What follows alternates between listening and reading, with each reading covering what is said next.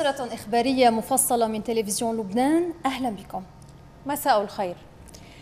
البطل الشهيد علي الحاج حسن إلى مثواه الأخير مكرما قرفاقه العسكريين في لقاء الوداع في شمستار وسط الأجواء الشعبية في كل لبنان الحافظة للأبطال الذين حرروا البلد من إرهابيي داعش. سياسيا ترقب لمواقف يطلقها الدكتور سمير جعجع في معراب غدا. وغدا مساء. يصل رئيس مجلس الوزراء سعد الحريري إلى موسكو على رأس وفد وزاري لإجراء محادثات حول الوضع في لبنان والمنطقة. وتتركز المحادثات على التعاون اللبناني الروسي في كل المجالات. وفي الرياض محادثات سعودية مع وزير الخارجية الروسي سيرجي لافروف الذي ينتقل بعد ذلك إلى الأردن. وبالعودة إلى الوضع المحلي.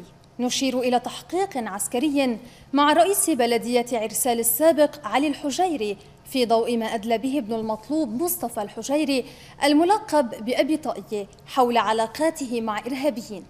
وفي الجنوب تم العثور على جهاز مراقبة زرعه العدو الإسرائيلي وتجدر الإشارة إلى استمرار حملة التهويل الإعلامي والعسكري الإسرائيلي على لبنان. إذا لبنان ودع الشهيد علي الحاج حسن.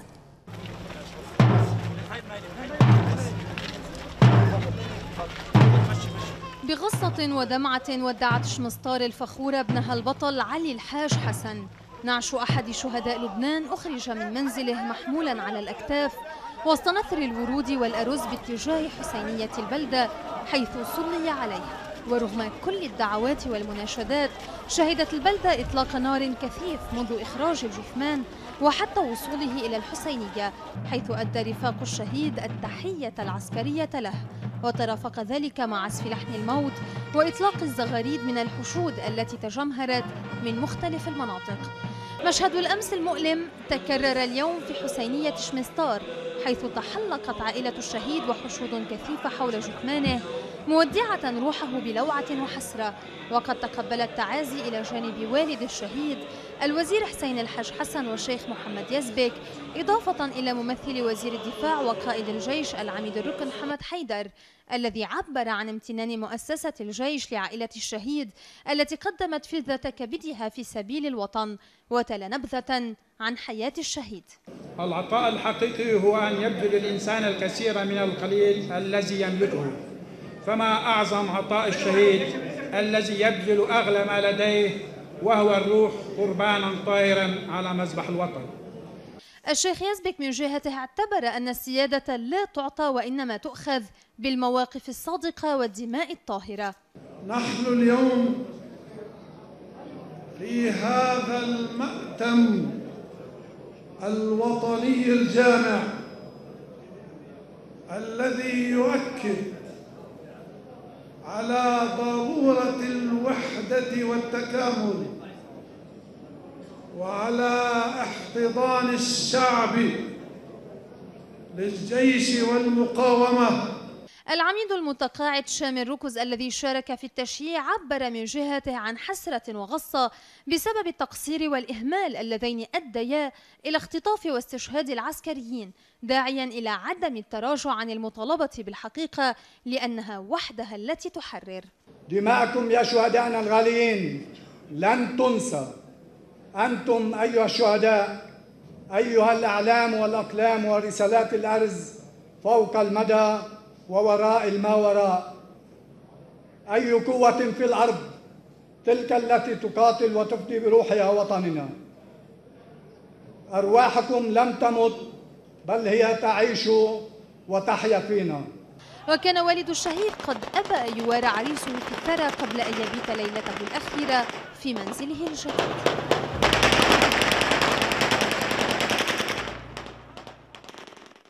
أعلنت قيادة الجيش مديرية المخابرات أن وحداتها ضبطت في وادي الزعرور وادي حميد في منطقة عرسال مخزنا للذخيرة وبداخله عدد من قذائف الهون وصواريخ متعددة الأنواع وخمس عبوات ناسفة معدة للتفجير وقد أجري اللازم بشأنها استقبال شعبي لفوج المجوقل في الجيش اللبناني العائد من جرود عرسال ورأس بعلباك إلى ثكناته. تكريما للجيش اللبناني تجمع عدد من المواطنين في بلدة زحل الاستقبال فوج المجوقل في الجيش اللبناني العائد من جرود عرسال ورأس بعلبك والقاع إلى ثكناته. ليكون له محطات تكريم في عدد من البلدات من المروج إلى جرود كسروان وصولا إلى ثكنة غسطة.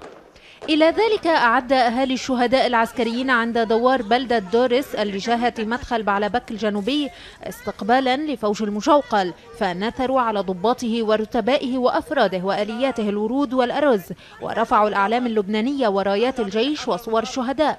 العميد المتقاعد محمود طبيخ والد النقيب المغوار الشهيد أحمد طبيخ وباسم أهالي الشهداء العسكريين ألقى كلمة فقال أهلا بالأبطال الذين نحروا الإرهاب أهلا بالأبطال الذين لا يتراجعون أهلا بالأبطال الذين استردوا جرود عرسال ورأس بعلبك والقاع والذين يحمون لبنان تحية لهم ولشهدائهم. تحية لقائد الجيش المغوار ونهنئه بهذا النصر العظيم. وإن شاء الله من اليوم وصاعدا لن يبقى إرهاب على حدودنا وصواريخ تسقط على ضياعنا وانتحاريون يفجرون لا في القاع ولا في الهرمل ولا في الضاحية. بدورها وجهت والدة الشهيد طبيخ أكبر تحية لضباط الجيش ورتبائه وجنوده خصوصا فوج المجوقل الذي استشهد ابنها في صفوفه على تلة الحمراء كشف مصدر أمني عن عثور عناصر من مخابرات الجيش على جسم مشبوه في رويسات العلم مقابل بلدة كفرشوبة وقد عملت مجموعة من سلاح الهندسة في الجيش على تفكيك الجسم ليتبين أنه عبارة عن كاميرا للمراقبة. زرعتها قوات الاحتلال الإسرائيلي في المكان موجهة إياها نحو المناطق المحررة.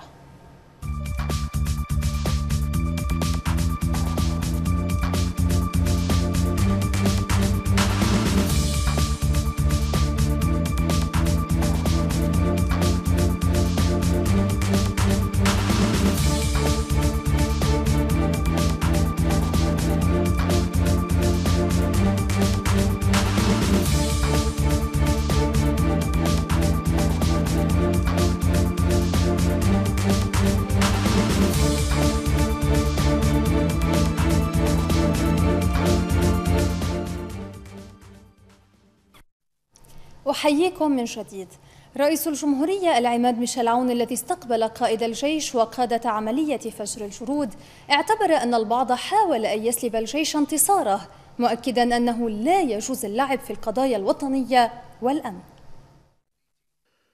مجددا تحية الافتخار بالانتصار ومقدما التهنئة فردا فردا لقائد الجيش العماد جوزيف عون ونائب رئيس الأركان للعمليات وقادة الوحدات العسكرية الذين شاركوا في عملية فجر الجرود ومديرية المخابرات والتوجيه والعمليات.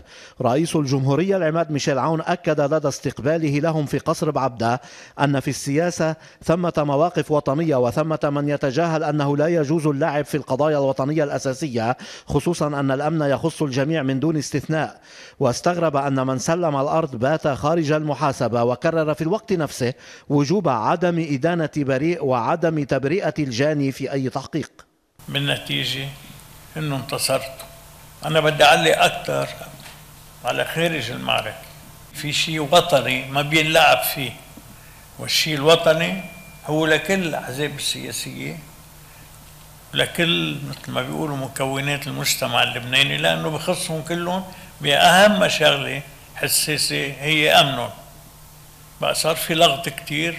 اللي سلم الأرض ما إجوا صوبه بس اللي حرر الأرض صار هو كأنه مسؤول. بدهم يخطفوا لحظة الانتصار عن الجيش مع إنه جيشنا بعيد كتير عن السياسة. جيشنا عم يحافظ على البلد. من هون تجي قيمته الوطنية. ولذلك لحتى نرد هالموجة عنا فتحنا التحقيق. قلنا في كلمتين ثلاثة هن جوهر الموضوع. ما بدنا نجرم بريء ولا بدنا نبرئ مهمل متساهل. وصل هالجبهة لهون. بقى هيدا الحق المحفوظ للي استشهدوا على الأرض. وللي استشهدوا معكم وامبارح اللي ذكرناهم لأن كانوا ناسيينهم إنه في ناس خطفون واستشهدوا بس في ناس استشهدوا كمان إنه عم بيحررون وإذ بدت عليه تعابير التأثر العميق خصوصا أن الجندي يقول كلما دعاني الواجب أنا حاضر شدد الرئيس عون على الأمل بالاستقرار وتحصينه. أنا كنت قائد جيش. بعرف العسكر. كانوا يدمعوا عيني كل ما أخسر جندي. فاذا بأي ظرف وبأي وقت أنا متأثر بأي خسارة. طبعا بفرح بأي انتصار ومشارككم الشعور أنتم عم تتقدموا بقى بكل محبة بهنيكم في مستهل اللقاء كان العماد قائد الجيش قد عرض للمراحل التي تمت فيها عملية فجر الجرود ودور الوحدات العسكرية. كما تحدث عن الحضور الإعلامي الذي وفر مواكبة موضوعية للعمليات الميدانية. وشكر قائد الجيش رئيس الجمهورية على مواكبة الجيش منذ اللحظة الأولى لانطلاق عملية فجر الجرود وحتى انتهائها وإعلان الانتصار. ردا على سؤال حول ما يجري من مواقف وسجالات قال رئيس مجلس النواب نبيه بري إنه من المؤسف أن المعركة العسكرية صار بدنا نخوضها بالإعلام والمراجعات القضائية بدنا نخوضها بالإعلام والمحاكمات بدنا نخوضها بالإعلام مع احترامي للإعلام الذي من حقه دائما أن يملك المعرفة في كل الأمور. لكن السياسيين ليس لهم حق التصرف في كل شيء إن مبدأ مصلحة الدولة العليا لا نعرفه بحق بلدنا وهذا أمر يؤدي فعلا على الأقل اتهامنا بالثرثرة. حاج الناس تهبط حيطان برات الصحن وحول ما إذا كان يجري سيؤثر على مصير الحكومة. قال بري هذا شر لا بد منه. في بيت الوسط عرض رئيس الحكومة سعد الحريري الأوضاع مع السفير القطري في لبنان علي بن حمد الميري.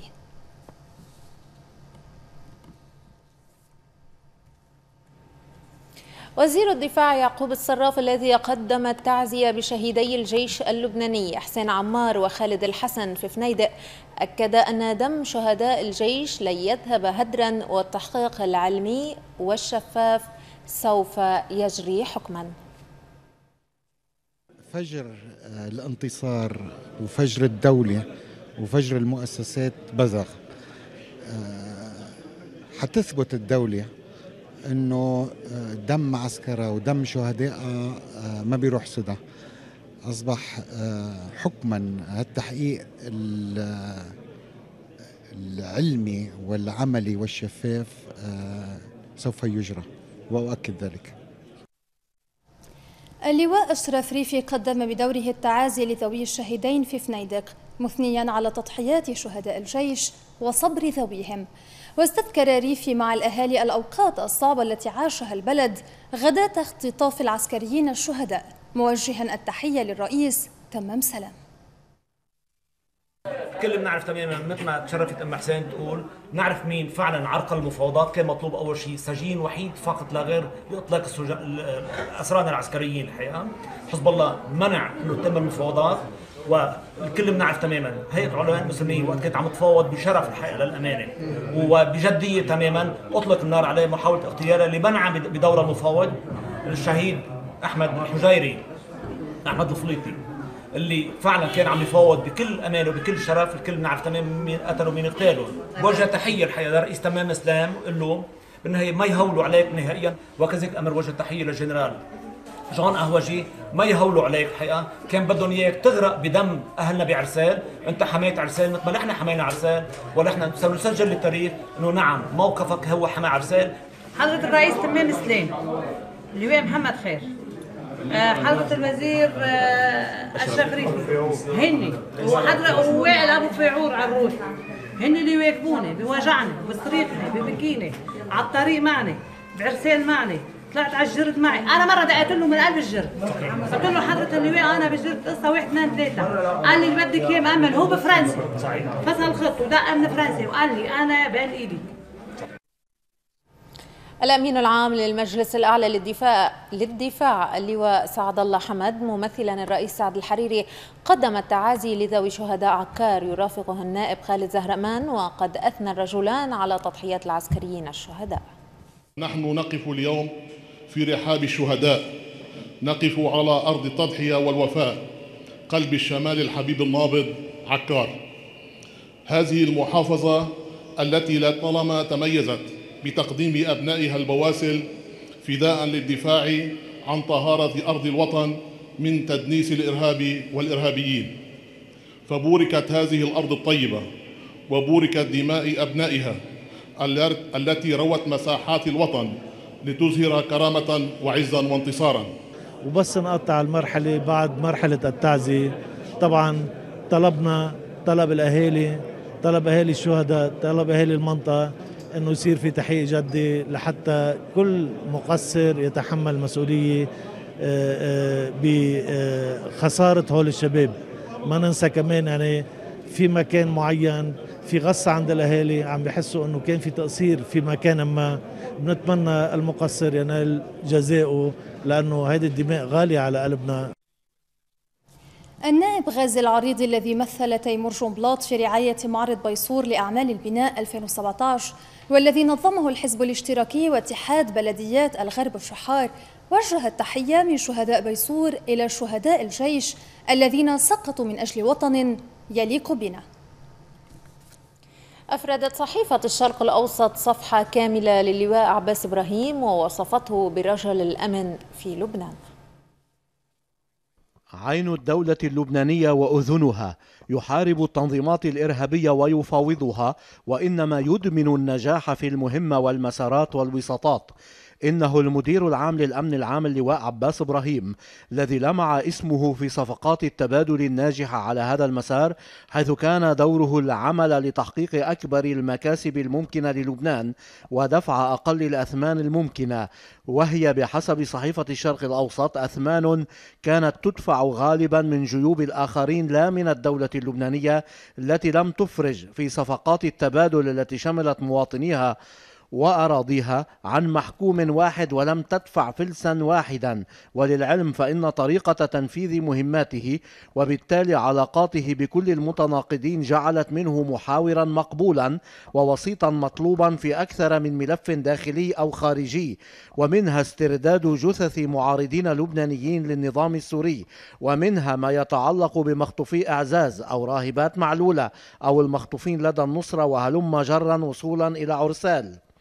وإلى نجاحه المجلي في مهماته مديرا عاما للأمن العام وعلى رغم الانتقادات التي توجه إليه من هنا وهناك من الفريقين المتقابلين في لبنان إلا أنه وبحسب ملاحظة الشرق الأوسط وبحسب رئيس تحرير مجلة الأمن العام العميد منير عقيقي فإن اللواء إبراهيم تعاطى مع الفريقين بتوازن لافت ومع التزامه والتصاقه بالمؤسسات الرسمية ووزارة الداخلية إضافة إلى إشاداته المتكررة بدور المقاومة.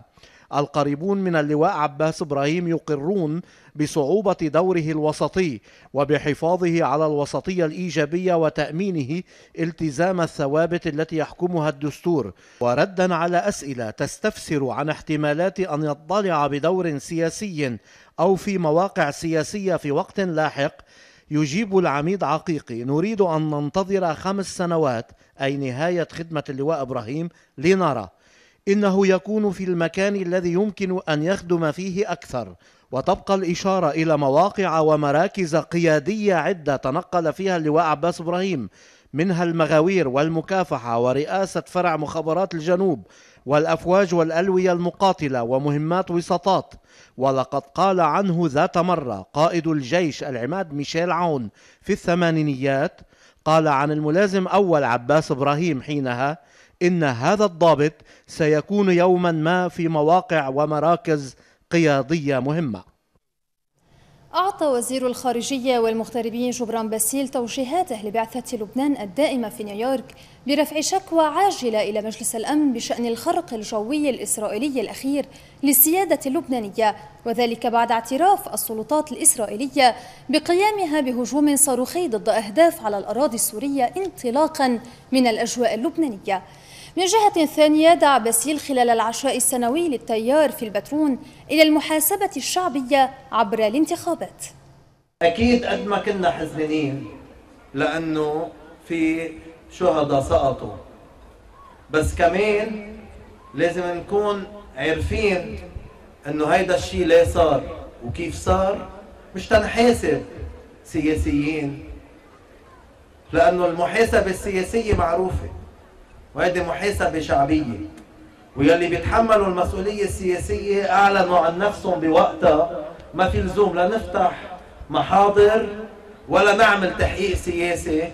تحقيق السياسي أصحابه عالمين عنه ونحن كنا بقلب القرار وبنعرف تماما شو اللي صار. الأهم هو إنه شعبنا يحس بالمسؤولية هو إنه هو بيحاسب شعبيا وهو بيحاسب سياسيا وإنه ما بيتشفى من حدا ولا بيفتح سجلات الماضي إلا لنتعلم بالمستقبل. يلي مش قادر يزبط ضيعته ما في يحكينا إنه بده يزبط وطن أهلا بكم من جديد. وزير العدل السابق شكيب قردباوي يدعو إلى انتظار نتائج التحقيق في تطورات عرسال 2014 سال 2014 فاجعة وطنية وطعن بكرامة الجيش والقوى الأمنية وألم الأهالي لن يداوى إلا بتحقيق شفاف يظهر المسؤوليات لتبيان الحقيقة. الوزير السابق شكيب ارتباوي يؤكد أن حادثا إجراميا من هذا النوع يستلزم التحقيق ويدعو إلى انتظار نتائجه. إبقاء هذا التحقيق بعيدا عن التجاذبات السياسية بعيدا عن التجاذبات الطائفية المذهبية مع الأسف الشديد وين صرنا بلبنان وحتى بعيدا عن المناقشات والمناكفات العلنية والإعلامية. كي يبقى للقضاء آه، نوع من الهدوء القضاة الهدوء الداخلي ليعملوا واجباتهم كما يجب رئيس جمهورية وهذا واجباته وهذا حقه. آه، وزير العدل طبعا تجاوب. طلب تحقيق قضائي. دعونا لا نستبق التحقيق. ماذا جرى في آب 2014 شو الملابسات؟ شو اللي صار؟ كيف انخطفوا هالعسكر الأهل بده يحكوا بعاطفتهم ما حدا في ما يحكي بعاطفته بس نحن بدنا نحكي. نحن بنفهم عاطفة الأهل بنقدرها ونحن كمواطنين قلبنا معهم. بس بالنتيجة في قانون بدنا نطبقه. شو بقول القانون لازم نعمله. من أجلنا جميعا ومن أجل الشهداء استشهدوا من أجل الوطن. والد الشهيد آه، محمد يوسف. اكن له كل الاحترام كل التقدير. هذا الرجل الجبار اللي أعطانا امثله لنا جميعا. فلنمتثل به. شوفوا الصبر تبعه. شوفوا كيف تصرف. شوفوا هالكبر النفس هالإنسان اللي أعطانا دروس جميعا. وهو المصاب. من المتوقع أن يأخذ هذا التحقيق الوقت لأن هناك أكثر من 200 شخص سيسألون. تحقيقات تحقيقات أكيد ما بتاخذ وقت إلى ما لا نهاية بس اللي سمعته طبعا مش مطلع على التحقيق اللي سمعته أنه ربما هناك حوالي 150 أو 200 شخص بده يستجوبوا بين بين شهود بين أشخاص في عليهم شك في شكوك ضدهم. بتاخذ هاي مش قليلة. وهلأ نحن بمرحلة التحقيق الأولي التي تجريها النيابة العامة العسكرية بإشراف النيابة العامة التمييزية بعدنا بالتحقيق الأولي بس تكون حد أدنى من الوقائع عندهم يدعي المدعي العسكري يعني فوض الحكومة لدى المحكمة العسكرية يدعي ويحيل الملف كله إلى أرض التحقيق الأول العسكري.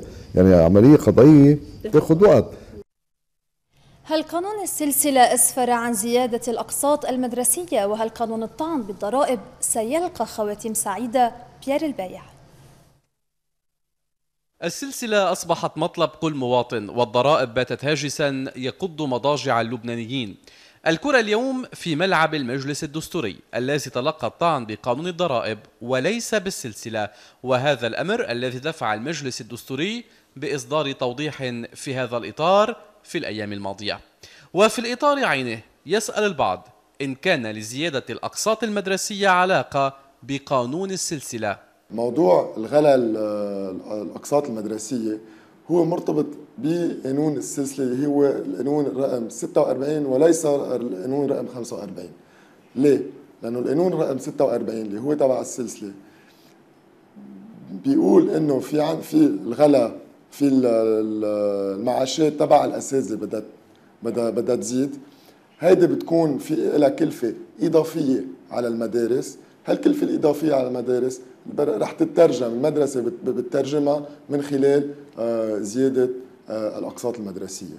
فإذا ما في لها علاقة منا ما في ما, في علاقة بين آه، الطعن المقدم من حزب الكتائب والنواب الخمسة العشرة اللي مضجوا معهم على على الطعن وموضوع زياده الأقساط المدرسية. حزب الكتائب الذي جمع تواقيع عشرة نواب لتقديم الطعن بالضرائب ماذا ينتظر من المجلس الدستوري اليوم؟ اليوم بعتقد واضحة للناس إنه الطعن اللي تقدم تقدم آه، ما خصه ابدا بالسلسلة، حزب الكتائب موقفه كثير واضح هو من بالعكس هو مع السلسلة ولكن ضد الضرائب العشوائية اللي آه، رح تفرض آه، على الناس. اليوم شو رح يصير؟ نحن بنعول على استقلالية القضاء.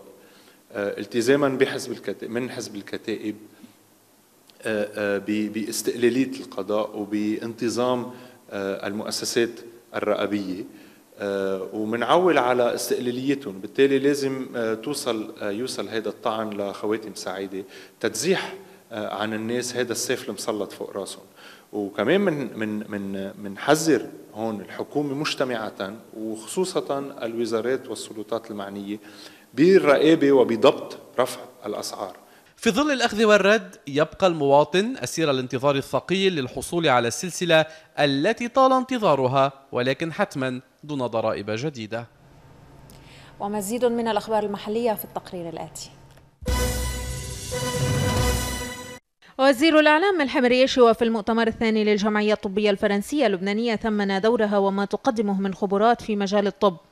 جولة لوزير الثقافة غطى صخوري في منطقة الشوف على المراكز الثقافية والسياحية يرافقه موظفي الوزارة. استهلها بزيارة المكتبة الوطنية في بعقلين حيث اطلع على سير العمل فيها. الخدمات التي تقدمها واحتياجاتها وانتقل بعدها إلى قصر بيت الدين حيث كان في انتظاره مدير عام القصر وجال في أرجائه واطلع على الأقسام التي بحاجة إلى ترميم وتأهيل ضمن مشروع سوف تطلقه الوزارة لترميم القصر. بعدها وصل إلى المركز الثقافي الفرنسي في دير القمر وجولة تفقدية على الأماكن الأماكن الأثرية في البلدة والمعارض التراثية. وقال خوري إن هذه المدينة كانت رمزا للعيش المشترك ومهمتنا إبراز الدور الثقافي والحضاري التي لعبته عبر التاريخ. لمناسبة جمعة الشهداء والقداس الإلهي على نياتهم وضع النائب جورج عدوان إكليلا من الزهر على نصب الشهداء في بلدة مطل الشوف في ساحة كنيسة مارجريوس بحضور حشد من الفعاليات. تلبية لدعوة من النائب إمير رحمة ولمناسبة ميلاد السيدة العذراء والذكرى السنوية لتمثيل سيدة بعلبك أقيم قداس احتفالي في المنطقة ترأسه راعي أبرشية بعلبك ودير الأحمر المارونية المطران حنا رحمة. النائب رحمة أكد أن ثلاثية الجيش والشعب والمقاومة قد سمحت لجميع اللبنانيين أن ينعموا بالأمان. وإلى الفكرة الاقتصادية مع ندى الحوت. نحن بنعرف نعم. إنه مدينة طرابلس مرقت بأزمة آه، سياسية وبأزمة أمنية نعم. وهلأ اليوم هناك محاولات يعني من قبل الجمعيات الأهلية اولا نعم. آه لتحفيز هذا الموضوع وتطويره وايجاد فرص عمل للشباب اليوم أنتم شو دوركم اقتصاديا نحن دور المجلس السياحي دوره اقتصاديا أنا بظن الدور الإنمائي كمجلس سياحي هو بيفتح الآفاق الجديدة نعم. ليكون في اقتصاد مرتاح بطرابلس وعلى صعيد الشمال كلياته نعم. اليوم لما نحن بنعمل كمجلس آه، مهرجانات بطرابلس ونستقطب آلاف العالم آه، أكثر من 15 ألف زائر كانوا موجودين بأول مهرجان للمجلس بخان العسكر آه، هيدا شيء دليل رياح على طرابلس دليل رياح على الشمال نعم. والمهرجان الثاني اللي بده يصير نهار الجمعة هيدا جمعة سبت أحد بقلعة طرابلس هو مهرجان كمان شعبي غنائي طربي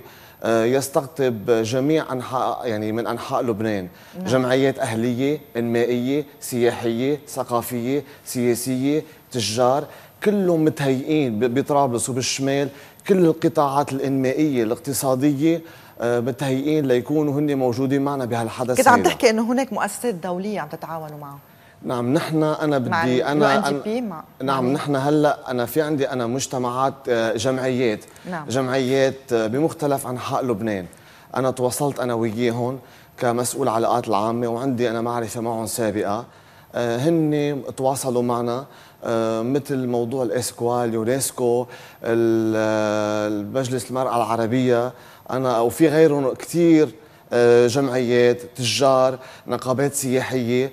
كلهم عم يتفاعلوا مع دور طرابلس ليكون لهم وجود بطرابلس ويشرفونا على طرابلس لهون لأنه آه، متشجعين كثير لحضور هالمهرجانات هيدي وبيعرفوا طرابلس منتجة انمائيا واقتصاديا. بس كلمة تنعطاها فرصة لطرابلس إنه تبين وينشغل فيها ونحن دعينا كل الناس من يعني على التواصل الاجتماعي من جميع أنحاء لبنان النقابات كلياتها لتكون موجودة بأي احتفال بأي مهرجان وتفاجئوا هن المجلس السياحي كيف هو على نشاط دائم نعم. وأنتج هالشيء كلياته وكسر الحاجز بين المناطق كلياتها نعم. وأثبت جدارته على صعيد طرابلس والشمال وبينحكى فيه على صعيد لبنان تكريم بطل العالم صائب الهاني في الكيك بوكسينج في نادي بونزاي. احتفل نادي بونزاي الرياضي بفوز أحد أعضائه صائب الهاني ببطولة العالم في الكيك بوكسينج بحضور حشد من الرياضيين. وقد ألقى رئيس النادي أحمد ماجد كلمة أشاد فيها ببطل العالم الجديد لفئة الناشئين من وزن الثلاثين كيلوغرام. واعتبر الفوز ببطولة العالم فوزا للبنان. صائب الهاني قدر يتابع بال kick light اللي هي low kick light. وأخذ ذهبية بطولة العالم صائب الهاني تسجل بطل عالم ببطولة العالم بإيرلندا. إنجاز رياضي لبناني عالمي يضاف إلى سلسلة إنجازات برع فيها اللبنانيون في الخارج في المجالات كافة. يذكر أن البطل صائب الهاني له من العمر تسع سنوات وقد انتسب لنادي بونزاي وله في العمر أربع سنوات وواظب على التمرين اليومي لمدة خمس سنوات وهو تلميذ في مدرسة السيدة ومتفوق في العلم وليس في الرياضة فقط. ومع هذا التقرير نصل إلى ختام هذه النشرة. شكرا لحسن المتابعة وإلى اللقاء.